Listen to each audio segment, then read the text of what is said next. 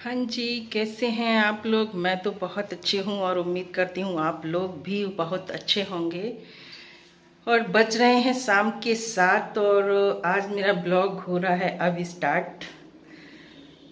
तो आज मैं गई थी गाँव, स्कूल गई थी सुबह सुबह जल्दी से काम निपटा के जल्दी से जाना था मुझे तो फिर जो है वहाँ से आई तो थक गई तो सो गई थी आके खाना भी नहीं बनाया था।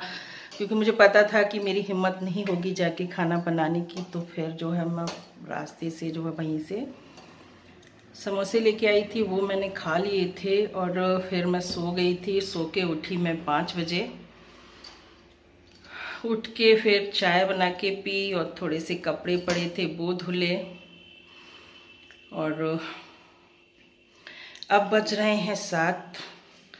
तो अब मैं आज आप लोगों के यहाँ भी सबके यहाँ शायद ये चीज़ होती होगी। आज पंचमी है तो आज भुंजरियाँ जो है हमारे यहाँ बोई जाती हैं। तो हम उनको बोने जा रहे हैं। तो चलते हैं।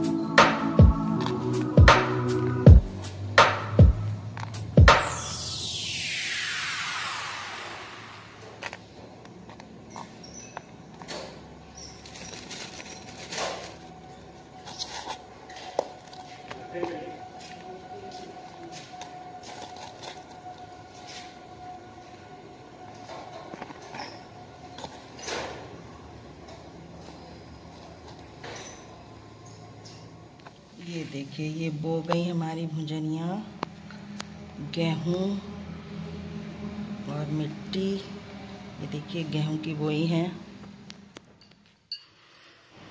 तो भुंजनिया भी हमारी बो गई हैं और आप लोगों आप लोगों के यहाँ बोई जाती हैं या नहीं, कमेंट बॉक्स में ज़रूर बताइएगा। हमारे यहाँ तो आज पंचमी है तो आज इनको बोया है और रक्षाबंधन वाले दिन जो है इनको पानी वाली जगह जैसे बोलते हैं मतलब सिरा देना बोलते हैं मतलब पानी जैसे तालाब वगैरह में कहीं भी इनको जो है डाल दिया जाता है। तो आज बोई हैं तो मतलब इसका क्या मतलब होता है, क्या क्या इसकी क्या बताएँ, जैसे क्या प्रथा है, क्या रिवाज है, ये सब मुझे नहीं पता। बस मैं तो देखती आ रही हूँ कि हाँ बोई जाती हैं तो बस मैं भी बो देती हूँ। और आज बोती गई हैं तो और बो दी और अब जो है, मैं रात का खाना बनाने जा रही हूँ। किचन में जाना है, खाना बनाना है तो आज की वीडियो यहीं पे एंड करते हैं, और फिर मिलते हैं कल की वीडियो में आपको। तो तब तक के लिए जो है, धन्यवाद।